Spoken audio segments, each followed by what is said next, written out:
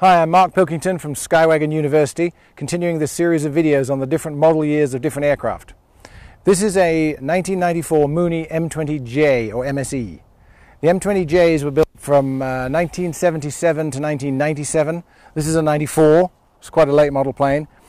The M20Gs and the Fs, the older 60s fuel injected and non fuel injected early planes, were this airframe. They were this length, this wingspan, this, and very similar, this engine. The G was 180 horsepower and the F is a 200 horsepower like this. There's the one taking off right now. Um, so this plane has got a lot of speed mods on it. It's in effect an M20F that was sped up by Roy Lopresti in 1977. And the modifications are a crank extension with a more sleek front end, a more modern sleek cowling, smaller intakes, a cosmetic power bulge on top. It just looks better, it's more aerodynamic. And they have the much more sloped windshield than the early C's and E's and G's and F's. So this is like a factory, this is the way the 201 came out.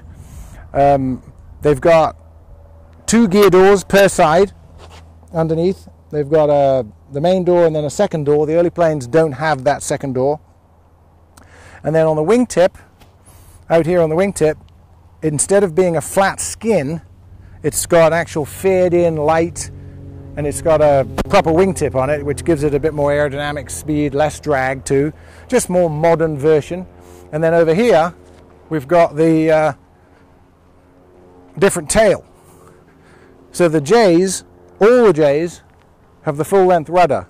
Anything newer than basically 1975 has the full length rudder, and they have these flutes in them to reduce suction and drag and make it more aerodynamic.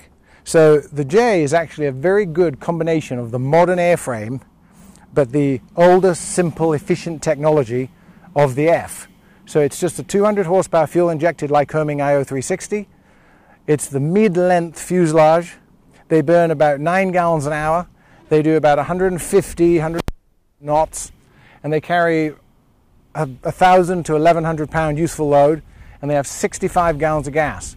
So you're not running a giant gas sucking 550 or a 540 Lycoming and no turbocharging.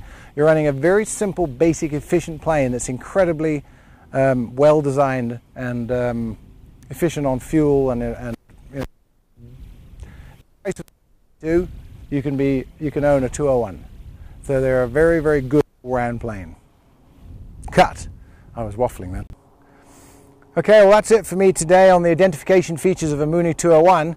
Um, there are a lot of other videos on all the other different aircraft, Mooneys, makes, models, Cessnas, Pipers, Beeches that will be up on the site. Um, remember to subscribe on the red button right here when it's all up and running. And uh, that's me signing off, Mark Pilkington at Skywagons University. Thanks very much.